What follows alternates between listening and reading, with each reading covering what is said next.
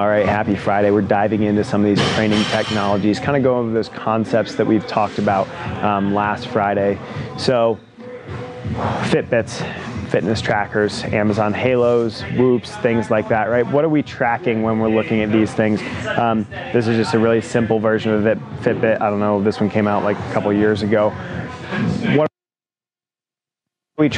use these little devices to track so many different things and sometimes they don't really use them to the best advantage they could right? Part of understanding training technologies using for a couple different things. Now steps tends to be a big one. Um, steps and sleep. I mean that's what we're going to talk about with the fitbit here because when we understand um, some of the different things that we can get off of these little devices, we need to be able to use them to our advantage to actually make improvements in our health and fitness. Steps is one that I really like to pick on because a lot of people come up with these arbitrary step numbers, right? Oh, I got 10,000 steps today, so I've you know hit my fitness goal. Well, congratulations, 10,000 steps is an arbitrary number they just came up with to mean that you're not sedentary.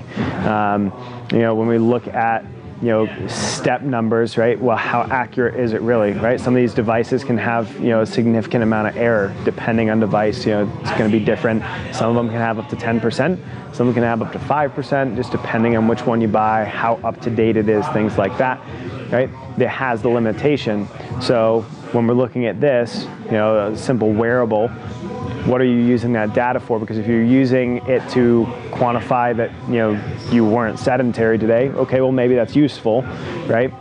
Or maybe you're trying to identify the habits that you had during that day, right? Another useful thing is identifying the habits that led to a more active day, right? Sleep is the big one because that's honestly what I use this little tiny Fitbit for, right? Tracking your sleep patterns. But if we're just tracking our sleep say, oh, I got a good night's sleep last night, well, is that the best thing? Yes, we have quantifiable data to say I spent this much time in REM cycle sleep, or I spent this much time in deep sleep, and this much time in you know light sleep, or I was awake this much time.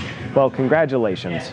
It doesn't matter if you don't do anything with it, right? So you know, what are the things that you identify? How do you feel after you get maybe 20% of your sleep in REM cycle sleep?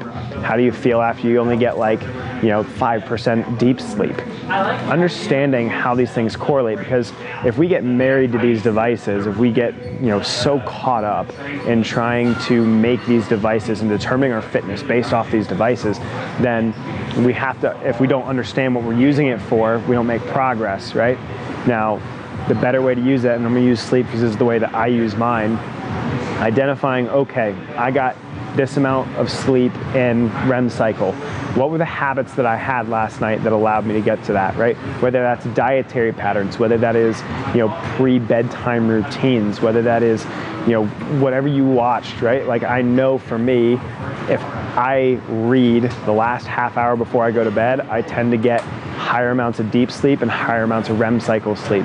If I track my sleep and let's just say, you know, I watch a movie with a lot of flashing lights, right? You go see the latest I don't know. I don't think they're making Avengers movies anymore. But you go, let's just say you watch the last Avengers movie and you know you got crappy sleep. Well, maybe that's an indicator that you probably shouldn't be doing stuff with tons of stimulation before you go to bed, right? understanding and trying to make correlations with the different things. Now, this correlation always equal causation. Eh, you need more data to really understand that, right? And that's why long-term tracking is good. But when you're looking at these specific wearables, right, because these will give a lot of people metrics, if we don't understand what we're using them for, then we don't always get the best effect out of them. So steps is a big one, right? Is your step goal just an arbitrary number that the thing provided for you? Because, like I said, congratulations, 10,000 steps, you have an arbitrary number that says you weren't a couch potato, right? being able to understand those habits. You know, maybe you identify an activity you did that you enjoyed that didn't take a whole lot of time that made you more active, right? What were your habits during the day? Same thing with sleep. What were the habits? What was your diet like that's going to impact your sleep? If you're just looking at your sleep and not doing anything with it, then why are you tracking it? If you're, you know, tracking your steps and you're not, you know, understanding the habits that led to more steps or more activity, a higher heart rate across, you know, the board, you know, it's kind of a meaningless thing to track. So that's one of my little gripes with Fitbits um, because people tend to not actually do anything with the data that they use from it. But it's one of those things that if you do use that data, you can use it fairly effectively.